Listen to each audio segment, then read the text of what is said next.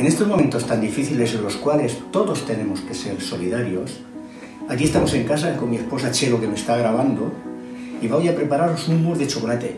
Una receta súper sencilla para que la hagáis en casa y os entretengáis y podéis tenerla guardada en el congelador, en el frigorífico o comerla al momento.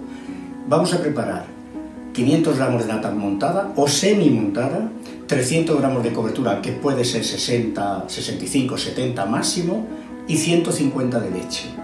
Lo primero que vamos a hacer es poner la cobertura fundida, le añadiremos la leche, la mezclaremos y por último con mucha delicadeza la nata. Vamos a prepararlo de manera que podéis hacer varias cosas. Vamos a hacer un mousse de chocolate puesto en una taza, en un vaso, también con fruta de temporada, en este momento fresas, y también podemos hacer esta misma receta que la podemos congelar y luego cocerla en un horno a 180 durante 8 o 10 minutos y tendremos una especie de culán o semiculán que también lo podemos comer caliente. Voy a empezar a hacer la mezcla. Pongo mi chocolate dentro del recipiente, añado la leche que antes previamente he hervido y voy mezclando con la cuchara de forma muy sencilla. Pedimos el resto de la nata. Acordaros que es muy importante la temperatura.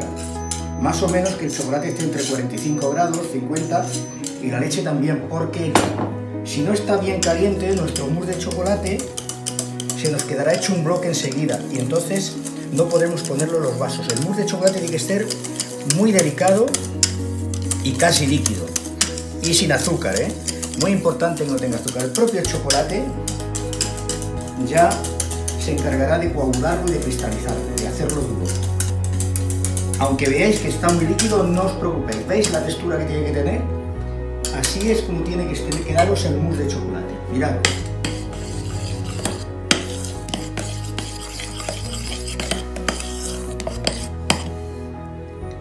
Hemos preparado un vaso con unas fresas cortadas y vamos a llenarlo